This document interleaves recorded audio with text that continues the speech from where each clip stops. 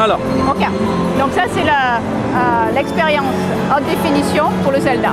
Ok. D'accord, c'est vrai que- Euh, pour un titre qui serait similaire à Zelda sur la nouvelle console, euh, le Wii U.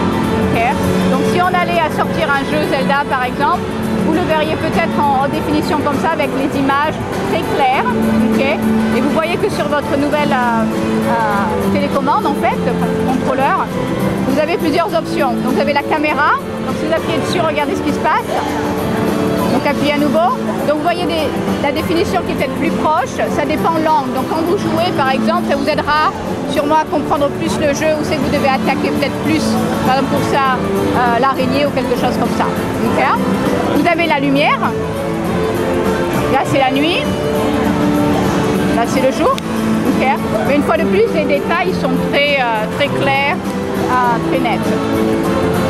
Là c'est la qu'on nuit. on est loin, loin de la Wii là, On est loin de la Wii. au niveau du graphisme. Tout à fait, parce que ça c'est la définition haute. Donc c'est la fidélité est très proche de la, la clarité de l'image.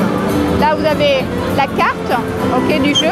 Donc comme vous voyez là, la carte elle est sur votre télévision, mais elle n'est pas présente sur votre écran. Vous pouvez faire un, échange en quelque sorte. Donc si vous voulez être peut-être plus proche, vous pouvez regarder plus sur votre télécommande et avoir votre écran de télévision simple et avoir plus de détails comme ça.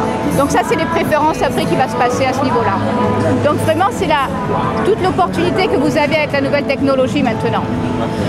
C'est assez impressionnant sur le concept. Absolument.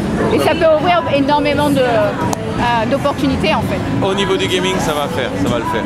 Ça c'est clair, c'est euh, c'est assez magique. Merci beaucoup. Pas de problème.